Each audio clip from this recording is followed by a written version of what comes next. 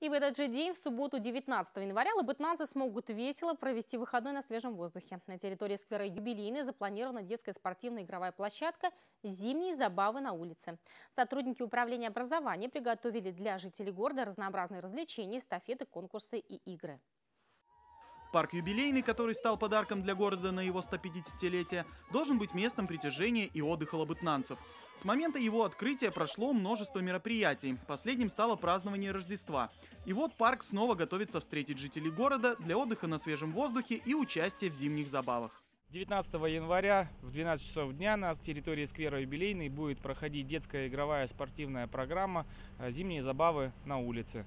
А, приглашаем всех желающих, жителей города и гостей с детьми приходить, играть, участвовать в различных конкурсах, эстафетах а, и весело проводить время на свежем воздухе. Организаторы приготовили более десятка игр. Конкурсы будут проводиться для детей и их родителей. Участникам нужно будет проявить свои спортивные и творческие навыки. А тех, кто любит прокатиться с ветерком, приглашают на ледяные горки на центральной площади города. Тимур Чешков, Дмитрий Свирит, программа «Время местное».